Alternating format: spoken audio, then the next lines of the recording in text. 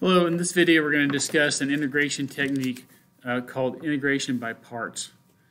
Um, this is a, a type of um, integration that essentially undoes the product rule.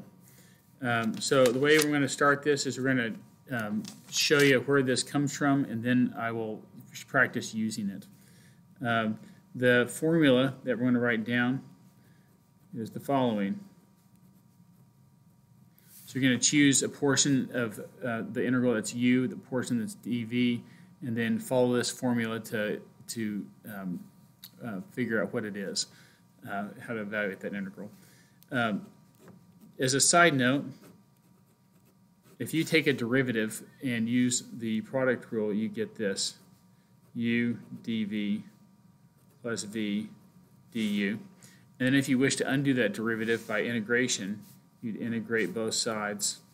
And the integral and the derivative would be undone uh, via the fundamental theorem of calculus. So you get uv equals u dv plus the integral of v du.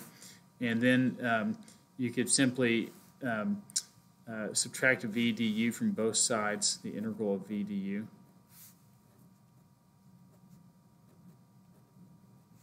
And then you have integral of u dv equals uv minus integral of v du. So that is the origin of the formula. It's very simple. It's exactly from the, the, the product rule.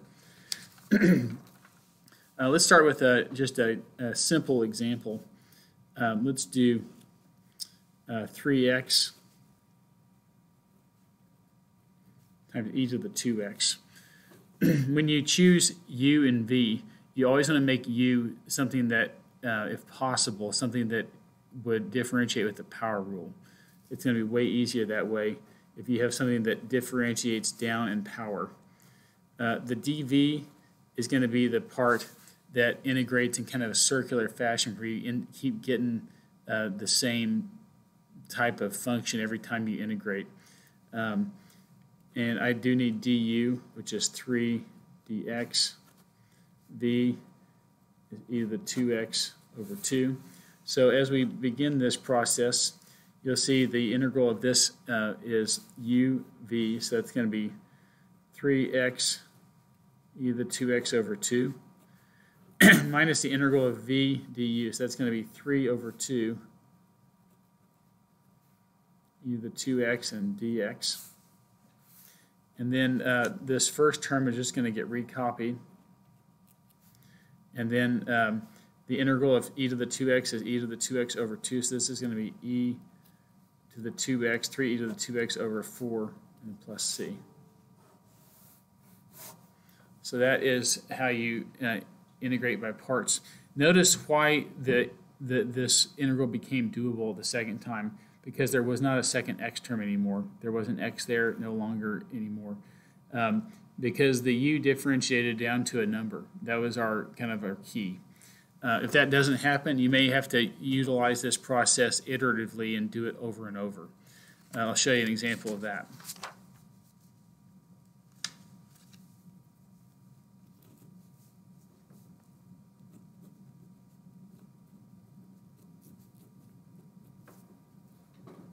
X squared cosine x dx. Um, again, we're going to make u x squared dv is cosine, du is 2x, v, the antiderivative of cosine is negative sine. Sorry, positive sine. Positive sine. Uh, so this is going to be uv, which is x squared sine, uh, minus the integral of v du, uh, 2x, that was 2x dx times sine, so 2x sine x dx. Again, now we don't, we've got an x and a sine, uh, so we've got to do this again. So we're going to say now u is 2x dv is sine, du is 2 dx, and v is now it's negative cosine. Uh, so now we're going to have x squared and sine is going to remain the same. Minus uv, so it's negative 2x cosine, uh, minus the, the integral of v du, so that's going to be minus 2 cosine dx.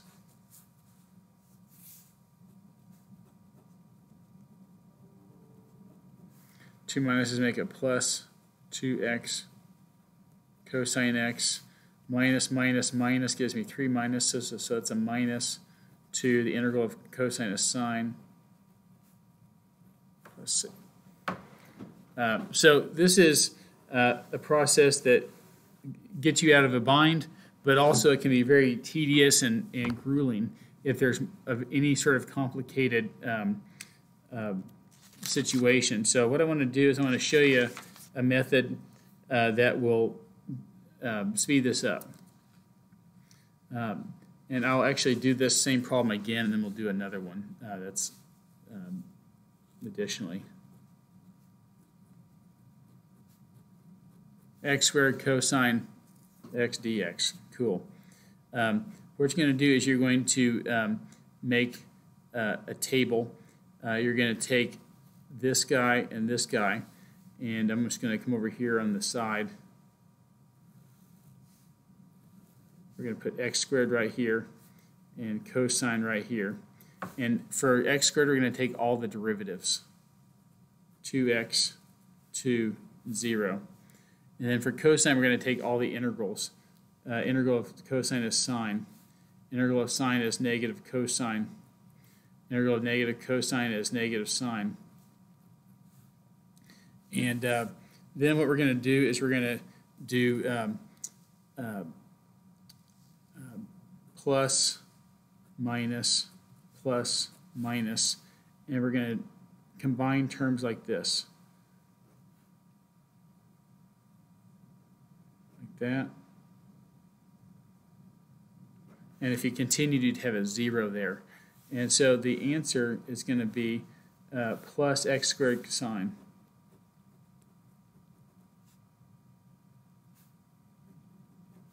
And then minus 2x times minus cosine, so that's plus 2x cosine. And then plus 2 times negative sine, so negative 2 sine plus c.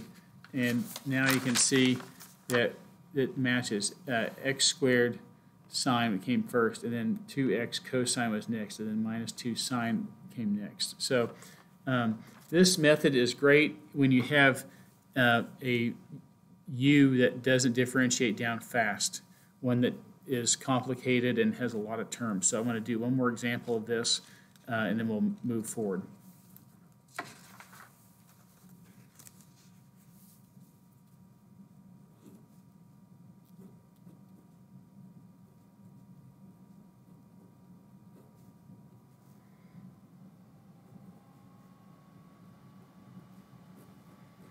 Okay. What I've written down is a horrific problem to do without tabular integration, without using the table. Um, it, it's feasible. U it could be this, dv is that, and uh, you know you just keep grinding until you got to the end. But you know trying to do all that without making a mistake, I think is a lot to ask. So I'm going to write down x to the fourth minus 3x squared and e to the 2x. We're going to take all the derivatives first at x to the fourth uh, minus 3x squared. So that will be 4x cubed minus 6x, 12x squared minus 6, 24x minus 0, 24, finally 0. For the integrals of e to the 2x, e to the 2x over 2, e to the 2x over 4, e to the 2x over 8, e to the 2x over 16, e to the 2x over 32, and plus, minus, plus, minus, plus, minus. And now we'll do our, our pairings, or groupings. There's one. We make this kind of that one, that one, that one, and that's the last one because if I went minus 0 times the next integral, it would be 0. So coming down to the, to the happy ending, we've got uh, x to the fourth minus 3x squared times e to the 2x over 2, and then minus 4x cubed minus 6x e to the 2x over 4, and then plus 12x squared minus 6 e to the 2x over 8, and then minus uh, 24x e to the 2x over 8 uh, over 16, sorry. And then plus, uh, 24 e to the 2x over 32 plus c. I could reduce some of that. Sorry, there we go. I could reduce some of that, but I'm not going to for now. So uh, a very a horrific problem algebra-wise that gets simplified a lot by just using this table and utilizing the pattern that you see in integration by parts. Uh, one more style of problem to show you. That is the case where um, both the u and the dv are um, not, neither is a power function. They both are circular in nature. Uh, we'll do e to the 2x times sine x dx. I'll just start out with picking u to be e to the 2x. dv is sine x. And um, um, du is going to be 2 e to the 2x. And then v is going to be negative co cosine x. Um, so I'm going to just actually make a new line here. I'm going to write down everything I have. Uh, e to the 2x times sine x dx equals u times v. Uh, so that's negative e to the 2x cosine x, and then minus the integral of v du. So 2 a minus, uh, 2 e to the x e to the 2x cosine x dx. Um, so you might notice that I haven't really made much progress. Uh, my integral initially had e to the 2x and sine. Now I still have an e to the 2x and a cosine. That doesn't seem to really make things better. Um, but when things don't seem to be much better, uh, you know, just keep going and maybe something will change. Uh, we're going to do this a second round. I'm going to kind of revamp this and uh, e to the 2x, recopy that, plus 2 times the integral of e to the 2x cosine x dx. Okay, so that's where I am. I'm going to again pick u to be e to the 2x and dv to be cosine x. This time du is 2e to the 2x and v is sine. So as I come back and do my next iteration, got e to the 2x sine x dx is negative e to the 2x cosine x plus 2 times all together, and I'm going to make brackets uv, which is e to the 2x sine x, and then minus the integral of v uh, uh, v du. So that's going to be integral of sine times 2 e to the 2x.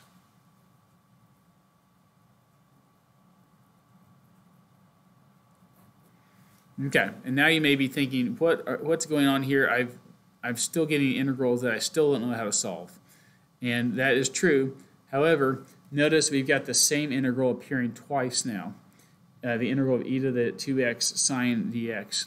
So what we're going to do is we're going to distribute the two, and then we're going to basically do some, an algebra one move and move all the integrals of e to the x sine x over on one side with a coefficient and get an expression for this integral at the end.